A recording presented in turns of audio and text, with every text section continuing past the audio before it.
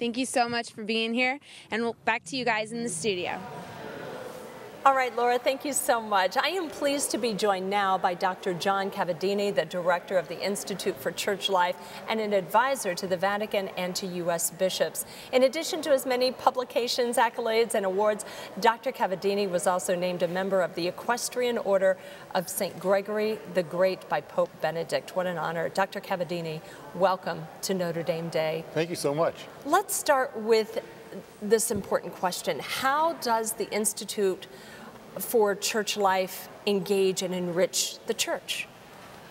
Sure. Uh, the Institute for Church Life is an outreach function of the University of Notre Dame, so outreach to the church from the university.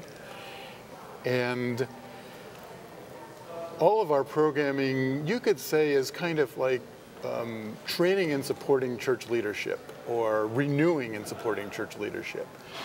And, and the, the context of that really is, is our own day when so many people seem to leave the church, and so many young people seem to leave the church, and they seem to leave it with so little regret, almost like taking off a shoe.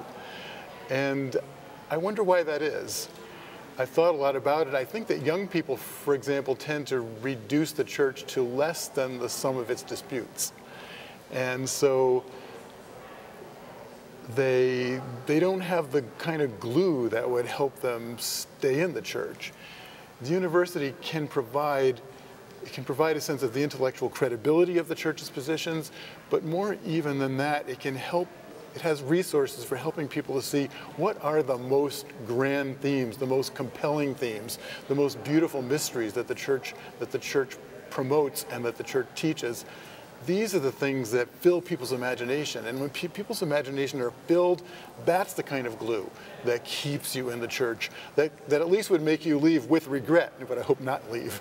Well, um, right. And, and Dr. Cavadini, it's an energy, it's a passion that you're igniting within that individual. And yes. hopefully that will keep them engaged, mm -hmm. right? Yes. And what our programs do is we, we try to train people to to know how to do this for other people. Right. So that we, we have programming all the way from high school students all the way up to, up to the bishops themselves. And our whole idea is to give people the resources and the formation so that they can release the intellectual and the imaginative capital of the church that would help, help lodge, lodge all these beautiful things in people's hearts and hopefully, hopefully help them to stay. Well, let's get specific though about one of the programs. You sure. have a program called ECHO. What does that stand for? What does it mean?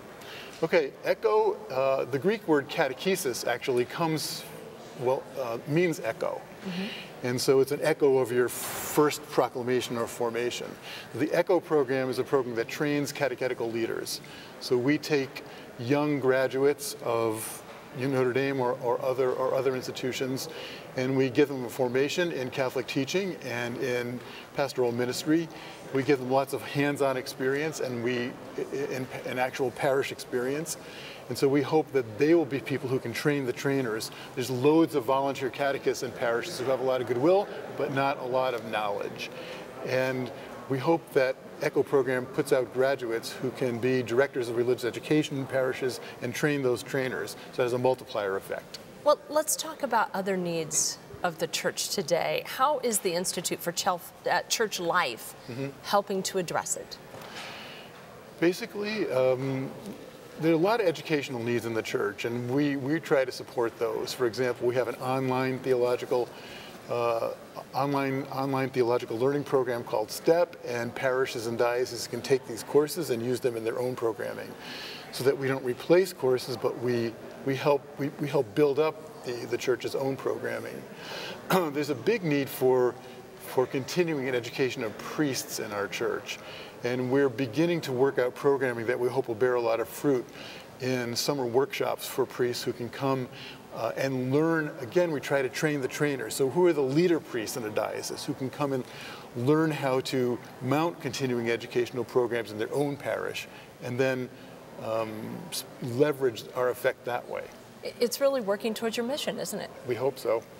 Oh, well, I, I, hope the best for you and your programs. Thank it's you a so wonderful much. and important, important part of, of Catholic life.